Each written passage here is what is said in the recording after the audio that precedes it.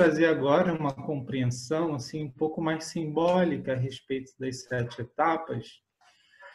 Então, se a gente pensar na, na transformação de uma lagarta em uma borboleta e aplicar essa visão das sete etapas, no reconhecimento a gente ainda está lagarta e ela já percebe que existe um casulo em volta dela. Então, essa percepção do casulo é o reconhecimento. A identificação é quando ela já percebeu esse casulo, esse isolamento e essa proteção. Esse casulo também serve como proteção e a lagarta se sente como um próprio casulo. Na desidentificação, a lagarta percebe que ela não é o casulo, apenas está dentro dele. Na transmutação, ainda dentro do casulo, a lagarta se transforma em pupa, mas sabe que pode evoluir mais. Então, Jason, você falou que viu várias é, é, etapas é, numa coisa só, sim, tudo está acontecendo ainda dentro do casulo.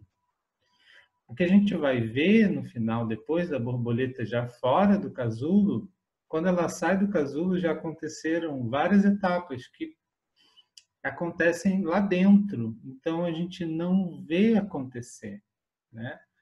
Então na transmutação, né? Ela é, está dentro do casulo ainda. Na transformação, ela ainda está dentro do casulo. É, e essa pulpa se transforma em borboleta, mas ela ainda está dentro do casulo. Na elaboração, ela já está rompendo ali, ó. Já é aquelas fases ali finais em que ela já está rompendo até sair lá no final.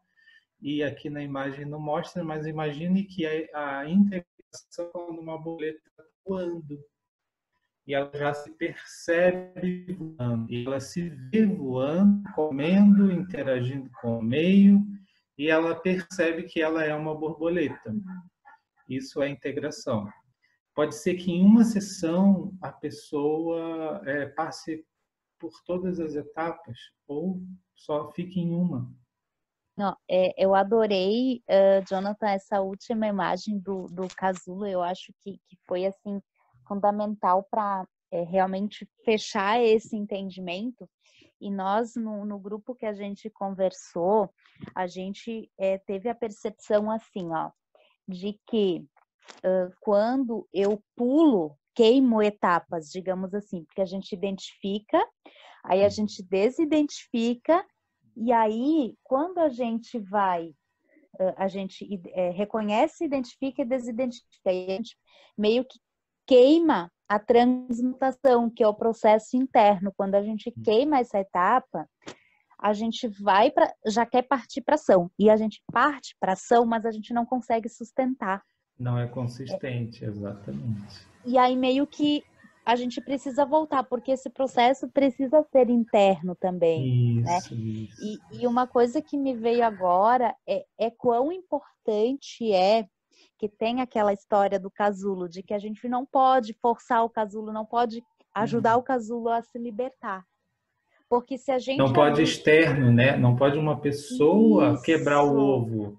A, Exato, a galinha, o pintinho gente... que tem que quebrar o ovo, né? Exato. E, e Ou a, a borboleta. borboleta se, se, a gente, se alguém.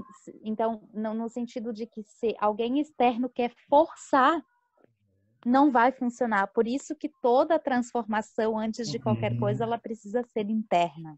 Né? Isso, e até o, o, terapeuta entendendo isso também, né? mesmo que ele visualize esse, essa questão, é, ele entendendo que ah, é o interagente que está ali com ele é, que precisa disso, que faz parte do processo de cada um.